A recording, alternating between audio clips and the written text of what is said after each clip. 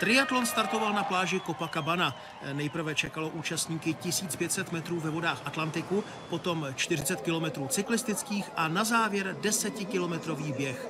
Vše v oblasti ikonických pláží, které jsou symbolem RIA. Po plavecké části se sice ujal vedení Slovák Varga.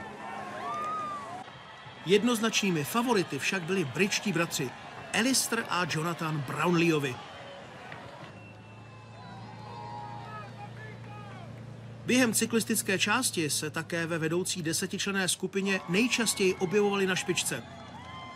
Ostatně měli co obhajovat. V Londýně 2012 byl Alistair první a Jonathan třetí. Teď ovšem chtěli jediné. První a druhé místo.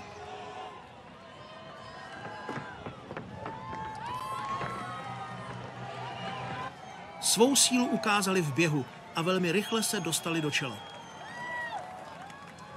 Tři kilometry před cílem unikl 28-letý Elister i svému o dva roky mladšímu bratrovi a mířil osamoceně k cílové metě.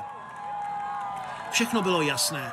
Alistair Brownlee bude jako první z triatlonistů dvojnásobným olympijským vítězem a na prvních dvou místech skončí bratrská dvojice. Vítězný Alistair už do cíle došel volným krokem a tak se odstup Jonathana snížil na pouhých 6 sekund. Krásný závod s ohromnou diváckou kulisou skončil dalším triumfem Velké Británie. Bratři z Yorkshireu ho měli dokonale pod kontrolou.